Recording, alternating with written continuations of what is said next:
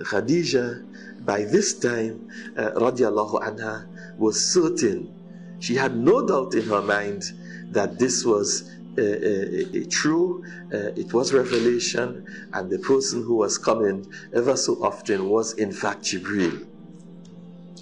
So she told uh, the Prophet sallallahu alaihi wasallam, she said, uh, the next time he comes to you, I'm in your company, you come and sit on my thigh.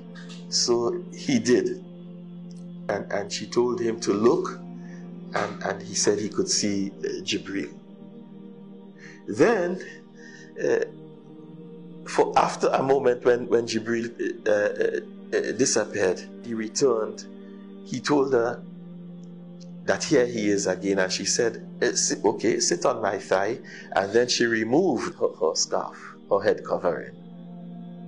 And uh, Jibril did not come.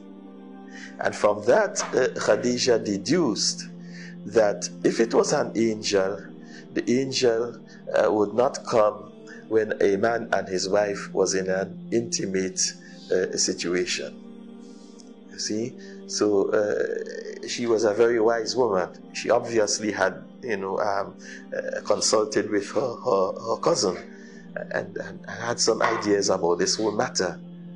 So by taking off the scarf, you know, and putting herself in that position, or you know, together with him, uh, that was one of the ways in which she uh, managed to deduce that this is, is something very genuine taking place.